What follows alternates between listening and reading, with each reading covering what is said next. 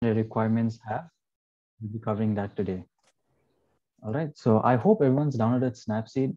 I'll be stop, stopping my screen share now so I can see everyone. If you have the app downloaded, I want you to raise your hand uh, using the reaction button over here. You can raise your hand. So I want to see if you have all downloaded the Snapseed app.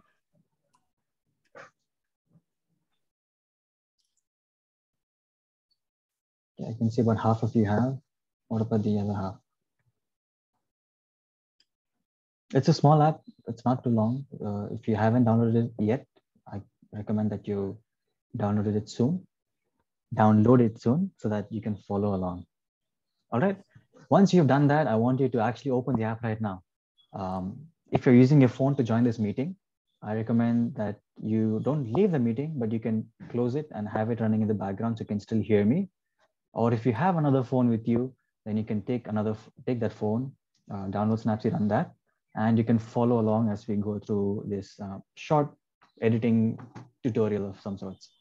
All right, uh, you can lower your hands now, and once you have your app open and ready, I want you to raise your hands again. Actually.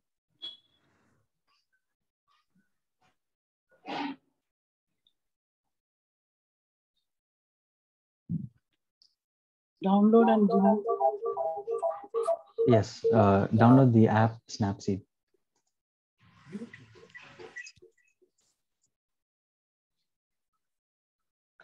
Um, and in the meanwhile, uh, Roland, if you can make me the host, then I can share my phone screen as well.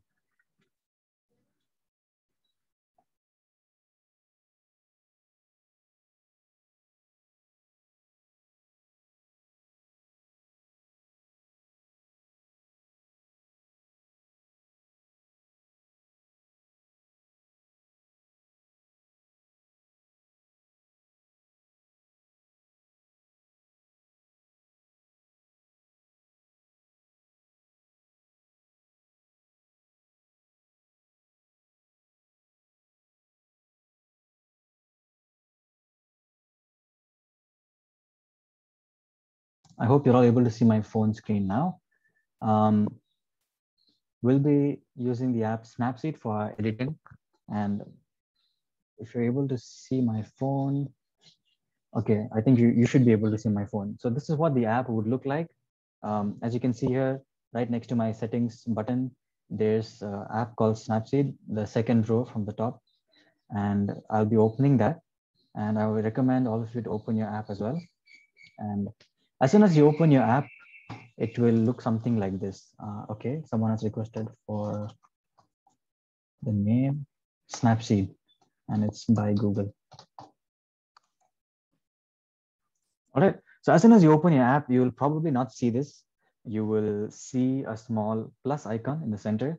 And I would recommend that you click on that plus icon and then it'll open up your files or your gallery and you'll be able to select a picture for you to edit.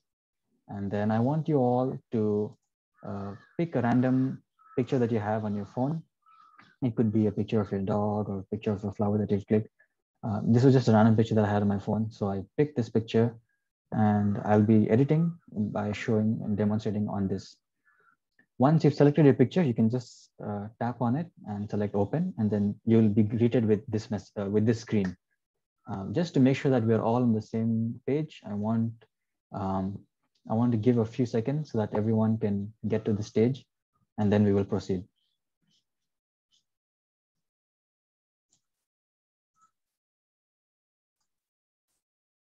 Okay, so those who have raised your hands, I want you to lower your hands now. And if you've all come, uh, if you've all opened the app, then I want you all to put a thumbs up uh, through the reactions button. And by doing that, I will know that you are on the same page. Okay. Um, I'm seeing most of you have put a thumbs up. And for those who are, if you have any doubt, you can just unmute yourself and ask, and then I'll be able to, I'll be glad to help you. Um, if you have any doubts, you can ask. If you do not, then we will proceed from this point forward. All right. So once you come to this page, you are presented with a few options in the bottom over here. All these are just some quick settings, you could say, some quick uh, presets to uh, edit your edit your photo using some automated settings. Um, I usually do not use them, but in case you're in a hurry and you find yourself uh, having to use them, and or if you feel like the edit was uh, the way that you wanted it to be, then you can select the edit and you can click on the tick mark on the bottom. Uh, if not, you can go into the main uh, editing suite, you could say. And that's so you click on tools. When you click on tools, you'll be greeted with this screen over here, where you have a lot of options here to choose from. And all of those have different functions. I'll be explaining a few of those. Um, but based on our requirements, the first few things that we need to learn, um, I'll be covering those first. All right. So as you can see, I've clicked this picture and the exposure or the brightness level is pretty decent. It's uh, not overexposed and then it's not too dark either. Uh, so the first thing that we'll do is to click on the first option called tune image. All right. Um, if you didn't follow that, the first option, top left, tune image is what we'll be selecting. Now, the effect uh, that you are currently using will be displayed in the top. As you can see, there's um, there's the title called brightness at the very top. Um, you're able to see that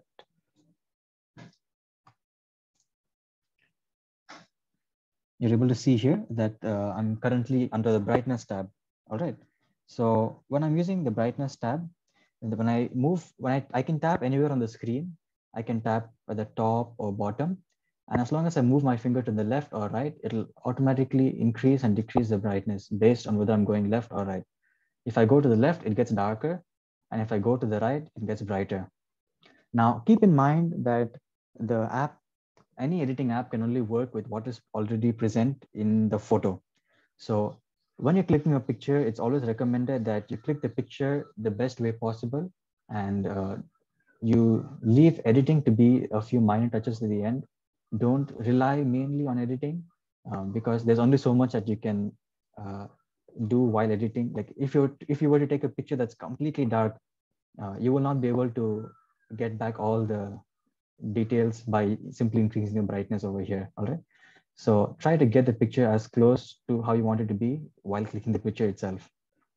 All right. So once you've come to a brightness level that uh, you are happy with, uh, for this case, I really don't want to increase the brightness anywhere, so I'll leave it at zero. And what you can do is you can uh, uh access the other settings within this tools uh, part by tapping on this settings button at the bottom here. All right. Here you can see there are a few other tools uh, you can select from contrast, saturation, ambience, highlights, shadows, and warmth. Contrast is basically adding more contrast to the picture or decreasing contrast to the picture. Um, usually I don't decrease contrast anywhere. Um, if you want your pictures to be a little more punchy, then you can increase it a little bit. Uh, don't go overboard. Sometimes uh, it's easy to go, overboard. So keep it at a level that you're satisfied with. And once you do so, then you can go on to the next setting. Now, a quick tip is instead of having to tap here each time and then select scroll up to your setting, what you can do is as long as you move your finger up and down, you'll be able to quickly browse through all the settings. You don't have to tap on the bottom each time. You can just push up or push down and then it'll automatically go. And then left and right is to adjust the particular setting, all right? So that's a quick tip. Okay, so we finished uh, contrast, now we're at saturation. Saturation is basically the colors, all right? So if you reduce the saturation, everything's gonna be gray and washed out, no colors, and uh, it's gonna be very black and whitish. It'll remove all the colors. And be careful of this uh, as well. If you increase the saturation too much, then it's gonna look very artificial and it'll not look too good. But in case you're taking a picture and you feel like a little more color would look nice, then you would adjust this and increase it a little bit over here. All right once you finish the saturation, um, the ambient setting is basically, um, I would put it as uh, an automatic uh, setting to adjust your brightness, contrast, and few other things. I don't use it often, but it helps me uh, when I'm taking pictures of things like sunsets and or sunrises. And then it adjusts the shadows and some of the darkness. Um, I don't recommend going too crazy with this either. Uh, and uh, again, uh, when you're editing, do not go too far to the right or too far to the left. Uh, unless it's uh, absolutely needed, because then uh, the picture will just look very different and very weird. All right. So you can experiment with this by having, um, like after the class, you can open different pictures and then you can try all these settings one by one and see what uh, what setting you like and how how they behave based on the picture. It may look like one thing on this picture. It may it may look different for you on your phone. All right, highlights. Now highlights affect uh, basically the bright areas of your picture. All right, so if you look carefully, I'm I'm able to reduce or increase the highlights.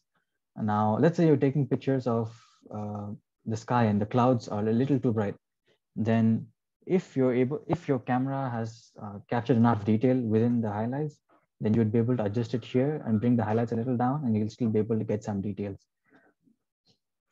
Uh, usually that's uh, how it's done where you can, sure, I can turn my phone to landscape.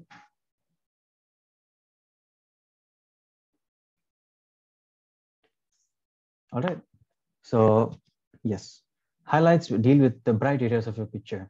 So if you have a picture that is, mm, let's say you're taking a selfie and um, the background is very dark, but your face is very bright, then you, if you were to adjust the highlights, it'll not affect the shadowy areas around you, but it'll affect the bright areas of your face.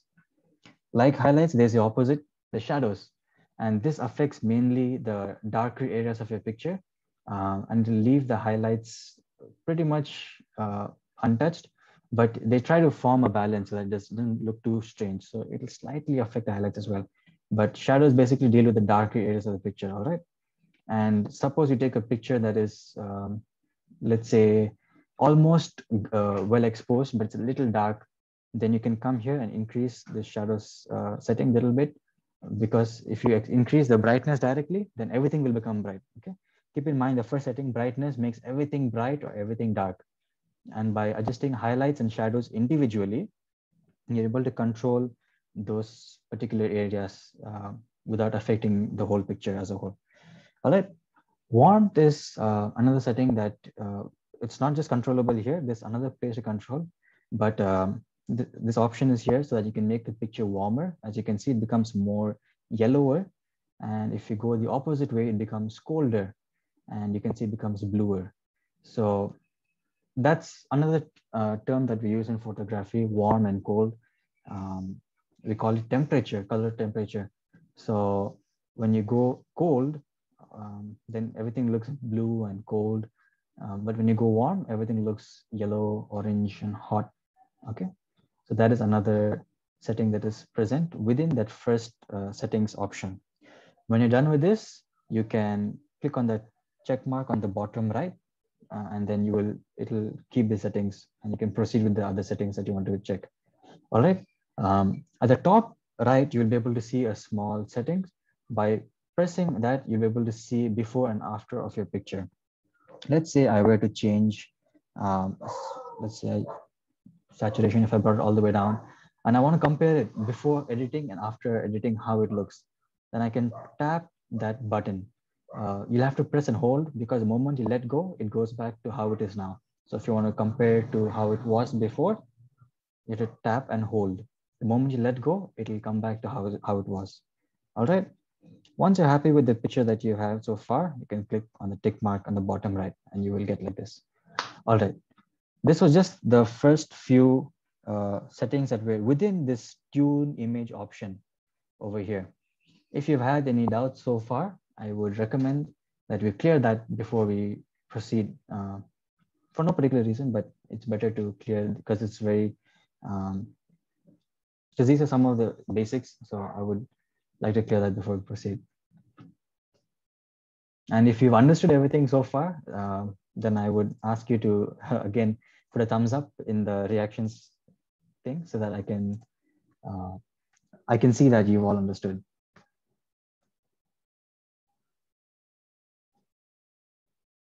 Okay, a few of you have understood.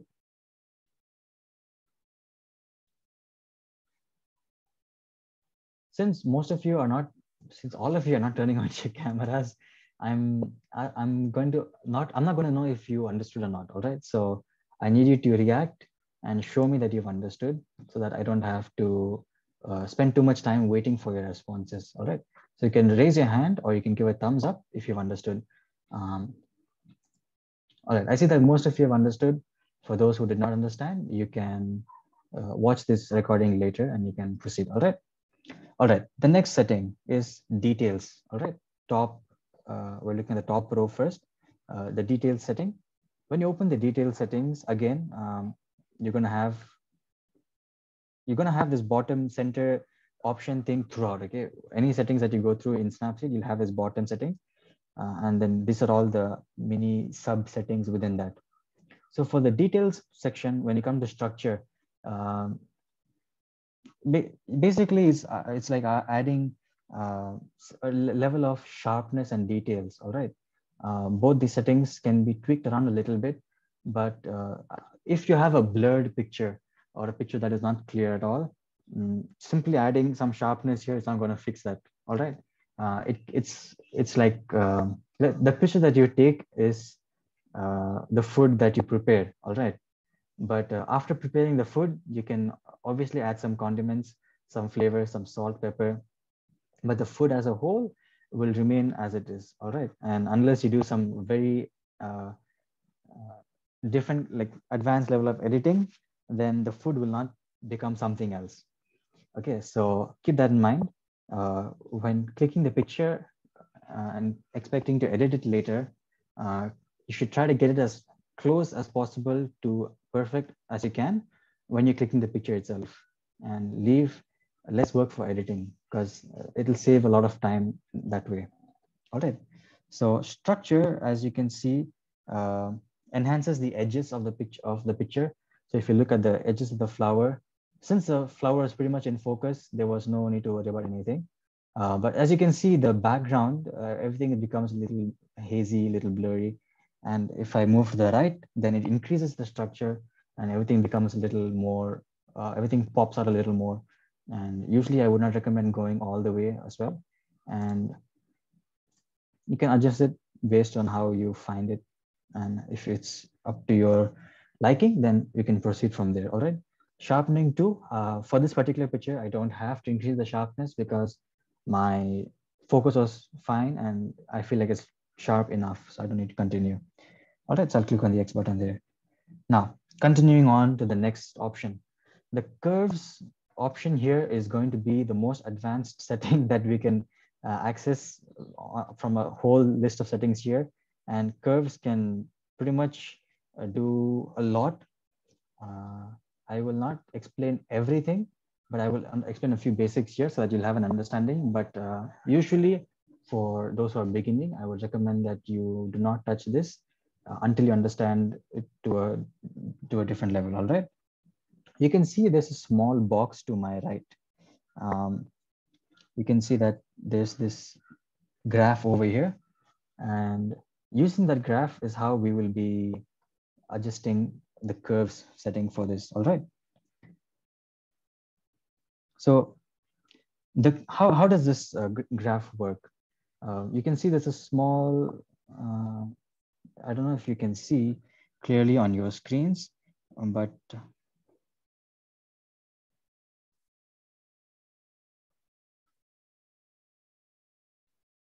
you can see there's a small hill-like shape over here. I'm hoping you're able to see that. All right. There's a small hill-like shape that goes up and down, up and down, up and down. Now, this is um,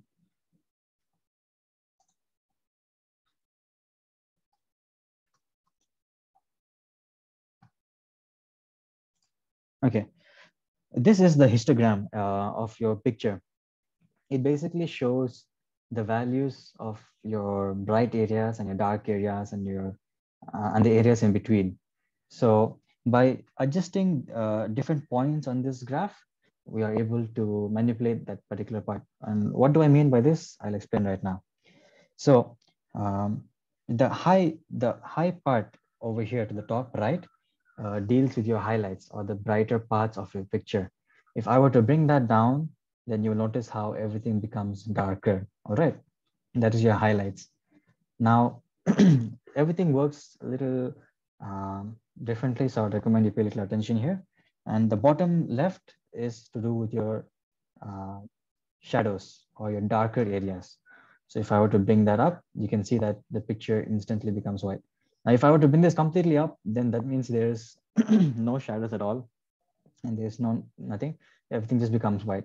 And likewise, if I were to bring the highlights all down, then everything just becomes dark, all right? So we can refrain from doing that. And the middle part over here has to do with the mid-tones, all right? So this is the area of the picture that is not too, uh, this is not the, this is not the highlights or the shadows. This is the part in between. Uh, most pictures, this is what you affect. The, if you go up and down, then this is uh, affects the midtones in the sense. Uh, most pictures that you take are hopefully going to be properly exposed uh, without being too bright or without being too dark. So in that case, this is what you will be adjusting over here. Now, before I proceed from here, actually, I want to explain the histogram to you even more. Um, the histogram functions uh, in a way that is from left to right. Okay, so the left side of the histogram, the left side of the histogram over here is to do with your shadows.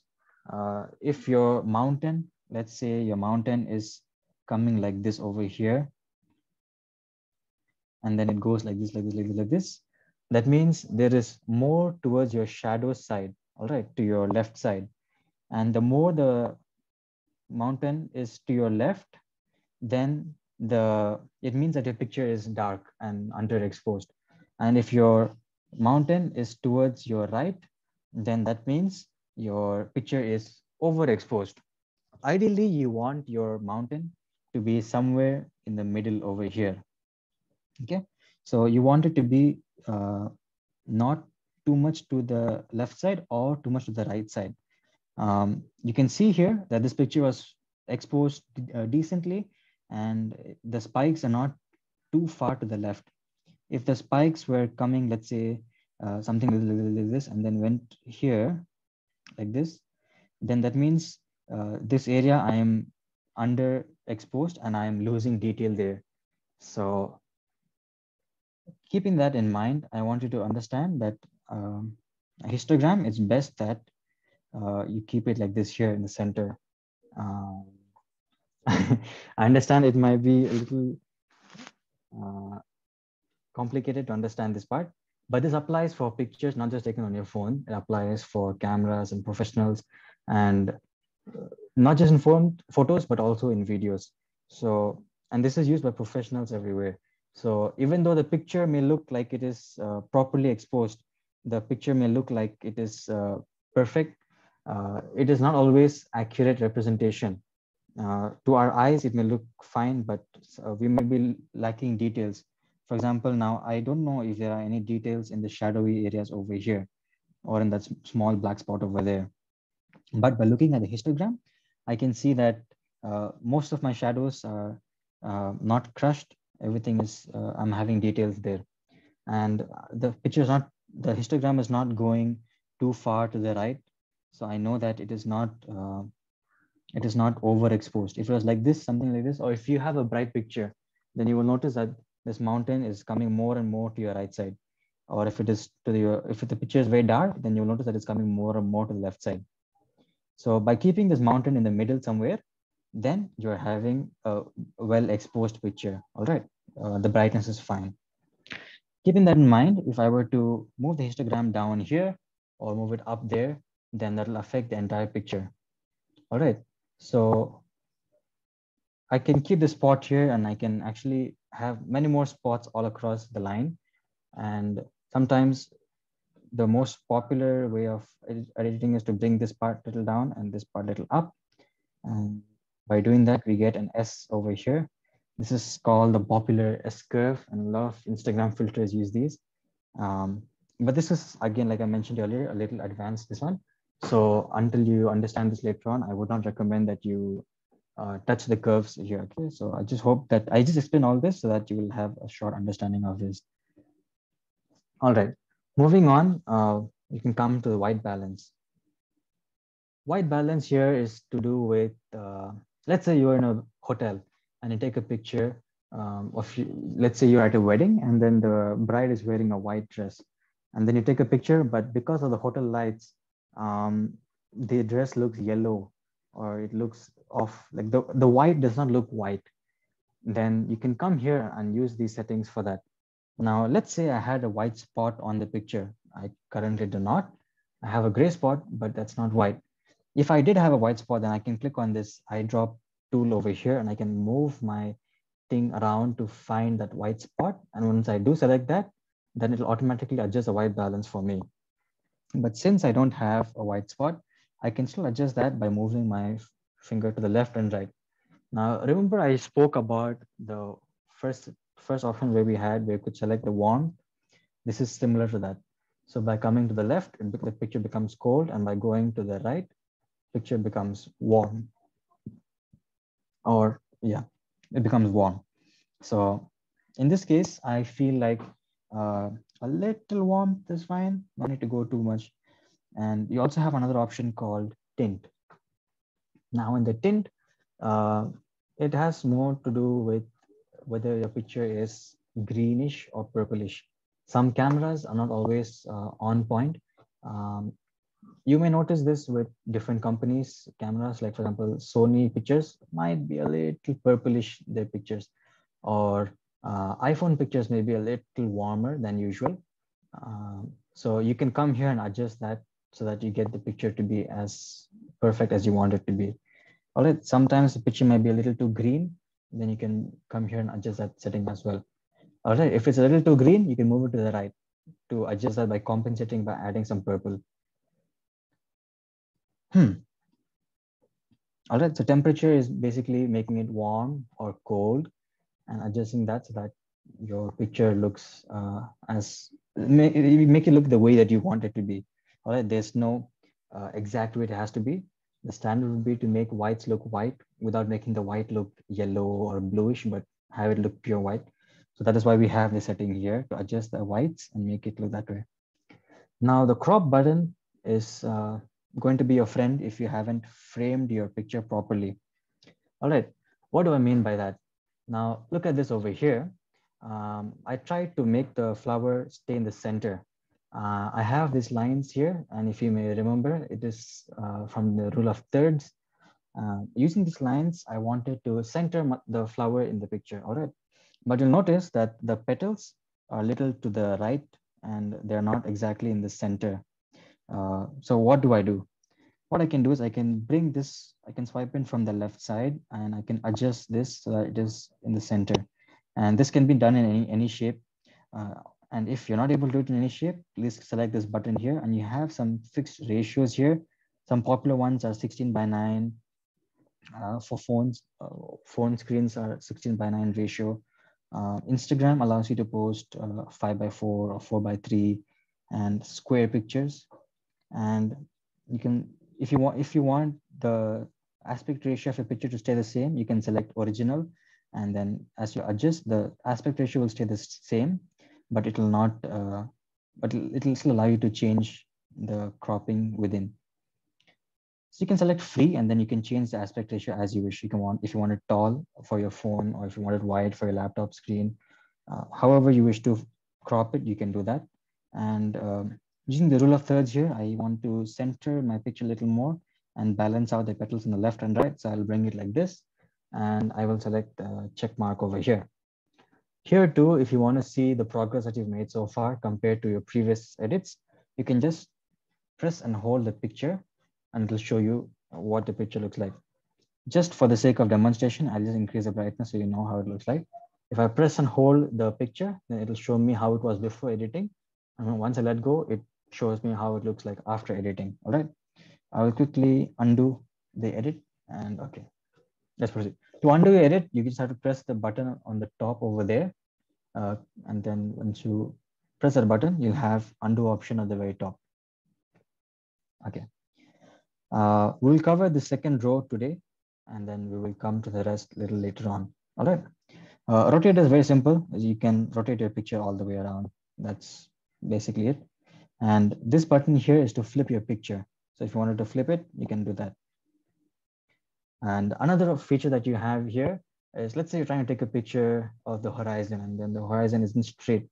Then what you can do is you can, again, like how we adjust settings by moving our finger left and right, is if you, if you go to the left or right, then the picture will slowly rotate. Uh, and by doing this, you can precisely adjust to a very small degree and uh, have the picture straightened the way that you want it.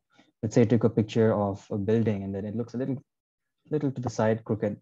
Then by adjusting this, you can get it to look straight. All right, that's rotate. Um, I will be skipping perspective a little bit because that's also a little uh, advanced. Uh, and we'll touch expand today.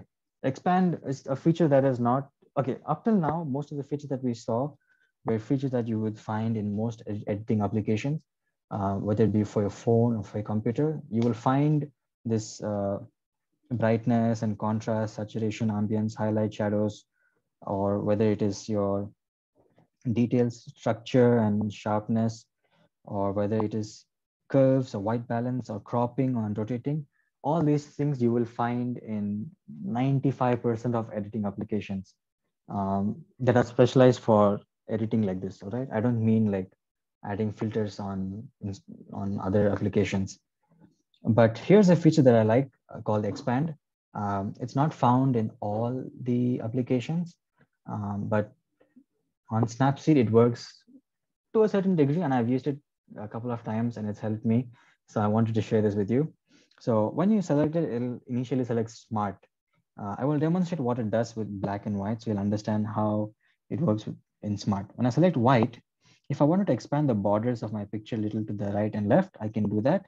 And I, am basically adding a frame of some source, all right? So when I export the photo, uh, when I save the photo after editing it, I will have a white border all around. Same thing applies if it's just black then you will have a black border around your picture. All right.